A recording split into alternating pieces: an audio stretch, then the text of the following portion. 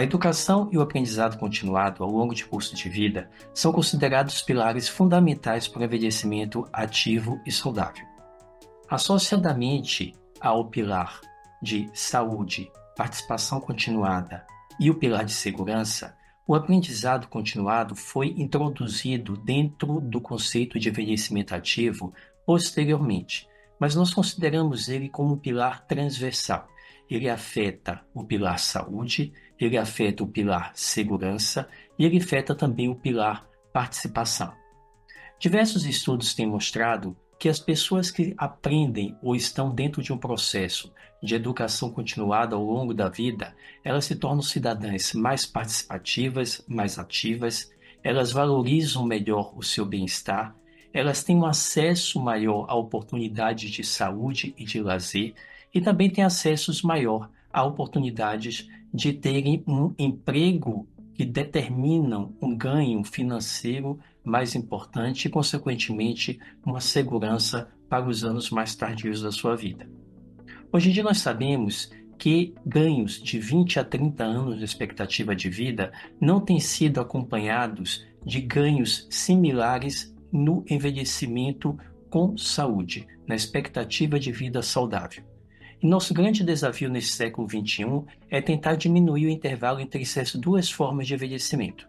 O envelhecimento que a gente aumenta somente a nossa expectativa de vida, mas também o envelhecimento que nós aumentamos a nossa expectativa de vida saudável. E para, para isso, a educação continuada é fundamental. Diversos estudos têm comprovado, ao longo dos últimos anos, a importância da educação continuada no processo de envelhecimento.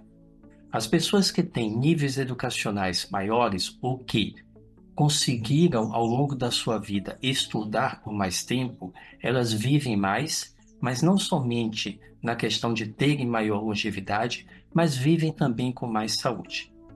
Essas pessoas têm mais acesso a redes promotoras de saúde, ela tem mais acesso a sistemas de saúde, ela tem mais acesso a lazer, elas têm mais acesso a empregos que determinam não somente um recurso financeiro, mas também propósitos de vida que são condizentes com o que elas almejam ao longo do seu curso de vida. Existem diversas formas de você aprender continuamente. E esse aprendizado não deve ficar restrito somente aos anos de escolaridade em que você estuda dos seus 5 até os 20 e poucos anos de idade.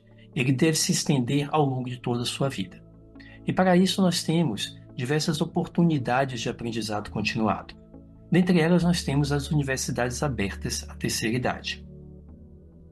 Uma delas, que eu coordeno, é a USP 60, que existe desde 1994 e que oferece anualmente mais de 8 mil vagas distribuídas em centenas de cursos. Esses cursos eles são gratuitos eles têm uma característica intergeracional, ou seja, na mesma sala de aula você convive com pessoas de diferentes faixas etárias e isso acaba auxiliando no combate ao preconceito etário, que é o idadismo. E eles também são abertos, ou seja, você não tem que ter nenhuma formação prévia para participar de um curso da USP 60+. O que diversas pesquisas têm mostrado é que as pessoas que participam desses cursos, elas têm uma autoestima maior. Elas têm menores taxas de depressão, de isolamento social, de solidão. Elas participam mais ativamente das suas comunidades e das sociedades. E elas envelhecem também de uma forma mais ativa e mais saudável.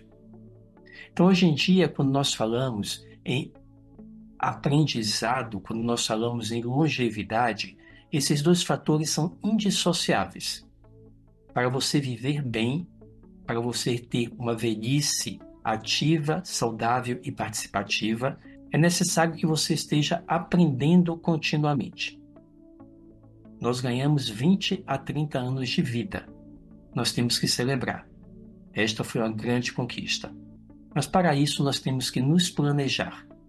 E dentro desse planejamento, que deve ser um planejamento estratégico de longo prazo, a aprendizagem continuada é um dos seus aspectos mais fundamentais.